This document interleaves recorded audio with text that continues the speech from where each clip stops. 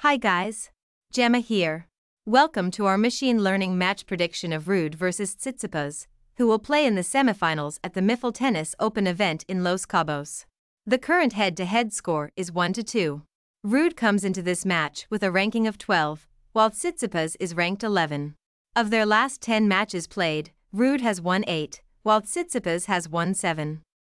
The MatchStat.com prediction algorithm uses about 190 variables. One very important stat for this match is on hard in recent matches. Ruud has won 53% of his own second serve points and 37% of return points, versus an average opponent rank of 127, while Tsitsipas has won 55% of his own second serve points and 34% of return points, against an average opponent rank of 112.